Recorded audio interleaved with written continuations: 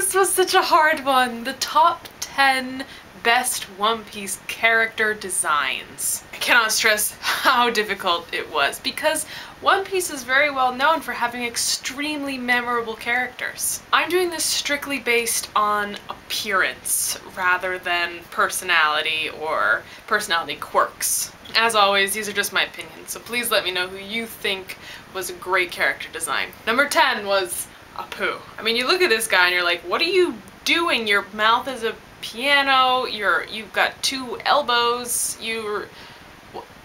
What?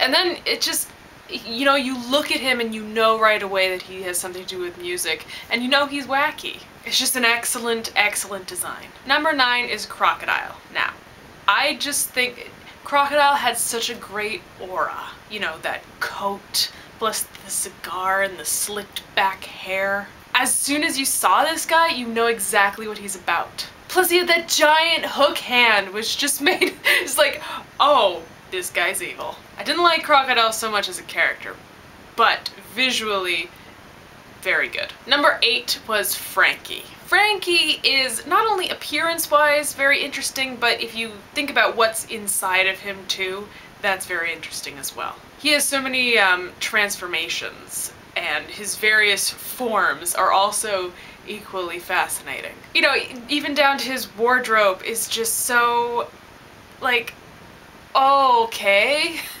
Number seven is Absalom from the Thriller Bark arc. He had a lion mouth. Then when he takes his coat off, he's like all kinds of different animals inside and he's got that silly hat on. Absalom didn't exactly do very many things that I found memorable, but visually, a fabulously memorable character. Number six is Doflamingo. This guy has got a pink feathery boa and pink sunglasses and wild blonde hair and just like checkered clothing. It just you look at him and you know he's insane. But he's almost kind of insane in this oddly classy way. Maybe classy in kind of a, a cheap way. Can't even really explain it, but it definitely comes across perfectly. Number five is Aka Inu. Akainu is kind of a weird one because if you look at him, he's really just a basic wrinkled man.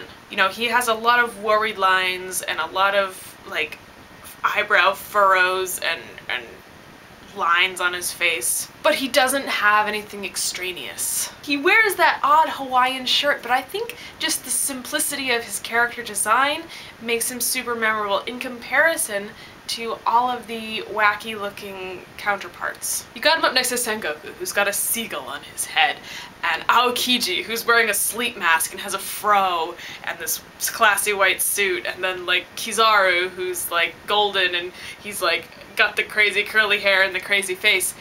Just this normal looking guy is such is so memorable. Number four was from a long time ago, Captain Kuro. I loved this character design because so much care went into it. When you look at his mannerisms when he's like adjusting his glasses like this before you know he's evil, it's like, what? And then you find out why it happened and it's like, oh my god, yes! Plus, he was in disguise for a majority of the time when we saw him.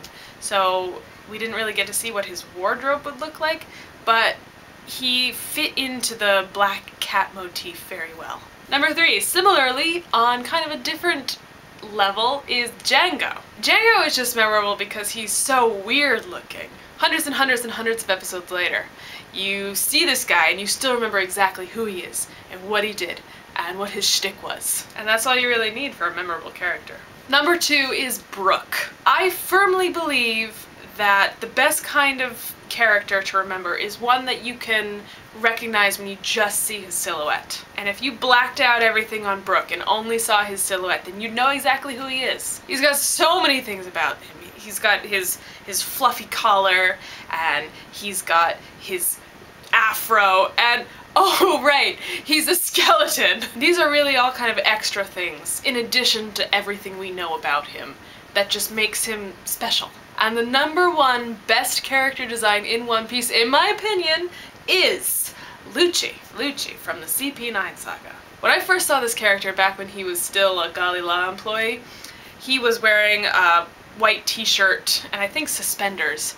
And I looked at him and I looked at his hair and I looked at his facial hair and I I immediately got the vibe that he should be wearing a black suit. And Lucci? I feel like with that name and the facial hair and the hat and the hairstyle, he should be wearing a fancy suit based on what he looked like only. And then a couple of episodes later, he's in a black suit and it it made sense. It totally worked. Everything came together for this character so easily.